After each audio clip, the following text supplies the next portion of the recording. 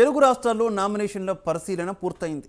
ఇవాల్టితో నామినేషన్ల ఉపసంహరణ గడువు కూడా ముగియనుంది. మధ్యాహ్నం మూడు గంటల వరకు ఎన్నికల కమిషన్ నామినేషన్ల విడ్రాకు అవకాశం కల్పించింది.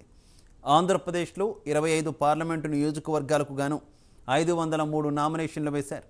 ఇక రాష్ట్రంలోని నూట డెబ్బై ఐదు నియోజకవర్గాలకు రెండు వేల ఏడు వందల ఐదు నామినేషన్లను ఈసీ ఆమోదం తెలిపింది. ఇక తెలంగాణలో పదిహేడు ఎంపీ స్థానాలకు గాను ఆరు వందల ఇరవై ఐదు నామినేషన్లకు అధికారులు గ్రీన్ సిగ్నల్ ఇచ్చారు.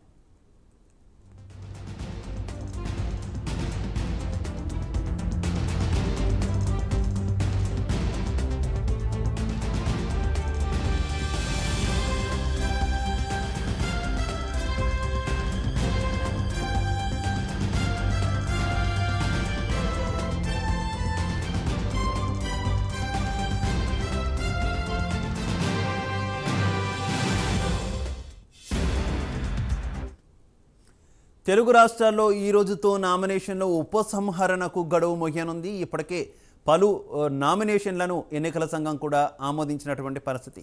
ఇక ఇదే విషయానికి సంబంధించి మరింత సమాచారం మా ఆంధ్రప్రదేశ్ బ్యూరో చీఫ్ రాజు అందిస్తారు. రాజు. రైట్ శివ మొత్తం మీద ఆంధ్రప్రదేశ్లో అలాగే తెలంగాణలో అంటే రెండు తెలుగు రాష్ట్రాల్లో కూడా ఎన్నికలకు సంబంధించినటువంటి వేడి రోజు రోజుకు రాసుకుంటూ ఉన్నటువంటి పరిస్థితి ఇంకా కొద్ది రోజులే ఎన్నికలకు గడువు ఉన్నటువంటి నేపథ్యంలో ఎన్నికలకు సంబంధించినటువంటి ప్రక్రియ సజావుగా సాగుతూ ఉన్నటువంటి సిచ్యువేషన్ కనిపిస్తుంది. మరి ఈ నేపథ్యంలోనే ఇప్పటివరకు కూడా నామినేషన్లు వేసినటువంటి అభ్యర్థులు ఎవరైతే ఉంటారో యాక్సెప్ట్ అయినటువంటి అభ్యర్థులు ఎవరైతే ఉంటారో వాళ్ళలో విత్డ్రా చేసుకునేందుకు ఇవాళ వరకు చివరి ఆ, గడువు ఇచ్చినటువంటి పరిస్థితి మధ్యాహ్నం మూడు గంటల వరకు కూడా విత్డ్రా చేసుకునే అవకాశం కల్పిస్తూ ఎన్నికల సంఘం నిర్ణయం పరిస్థితి. మరి ఈ నేపథ్యంలోనే రెండు తెలుగు రాష్ట్రాల్లో ఏ అభ్యర్థులు పోటీలో ఉంటారు?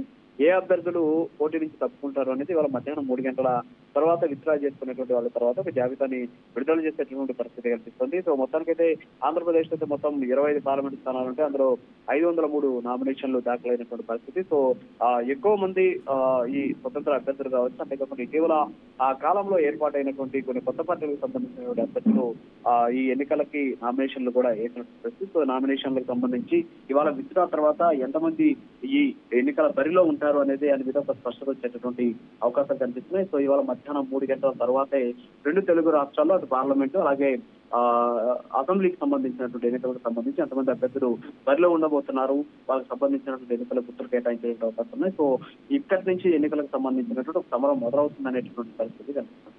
అయితే మరోపక్క నూట డెబ్బై ఐదు అసెంబ్లీ స్థానాలు ఉన్నటువంటి ఏపీలో ఇప్పటి వరకు కూడా రెండు వేల ఏడు వందల ఐదు నామినేషన్లకి ప్రస్తుతానికి ఎన్నికల అధికారులు ఆమోదం తెలిపారు. సో ఇప్పటికే కొంతమంది అంటే ఆ ఒక పార్టీకి సంబంధించి ఒక రెండు మూడు సెట్లు దాఖలు చేసినటువంటి అభ్యర్థులు వస్తుంటారు. అంత కూడా ఉపసంహరించుకున్న తర్వాత అది దాదాపు సగానికి పైగా తగ్గేటటువంటి అవకాశాలు కనిపిస్తున్నాయి నామినేషన్ సంఖ్య. మరోపక్క తెలంగాణలో పదిహేడు ఎంపీ స్థానాలకు సంబంధించి అక్కడ ఆరు వందల ఇరవై ఐదు నామినేషన్లకు ఆమోదం పొందినటువంటి పరిస్థితి అయితే ఉంది. సో మొత్తానికైతే ఆ, రెండు చోట్ల అంటే అటు తెలంగాణ అలాగే ఆంధ్రప్రదేశ్లో ముఖ్యంగా ఎంపీ స్థానాలకు సంబంధించి తెలంగాణలో పదిహేడు స్థానాలు ఉంటే అందులో ఆరు వందల ఇరవై ఐదు నామినేషన్లు ఇస్తే ఇరవై ఐదు పార్లమెంట్ స్థానాలు ఉన్నాయి. అంటే తెలంగాణ కంటే ఎనిమిది స్థానాలు ఎక్కువగా ఉన్నటువంటి ఏపీలో ఆ, ఆరు వందల ఇరవై కంటే తక్కువ అంటే దాదాపు వంద కంటే తక్కువ నామినేషన్ కూడా దాఖలైనటువంటి పరిస్థితి. సో వీటిలో చాలా వరకు విత్డ్రా అయ్యేటువంటి అవకాశాలు కనిపిస్తున్నాయి. సో విత్డ్రా తర్వాత చివరి తుది జాబితాని ఎన్నికల అధికారులు ప్రకటిస్తారు. ఎన్నికల అధికారులు ప్రకటించిన తర్వాత వాళ్ళకి ఎన్నికల గుర్తులు కేటాయించి ఆ తర్వాత ఎన్నికలకు సంబంధించినటువంటి పరిలో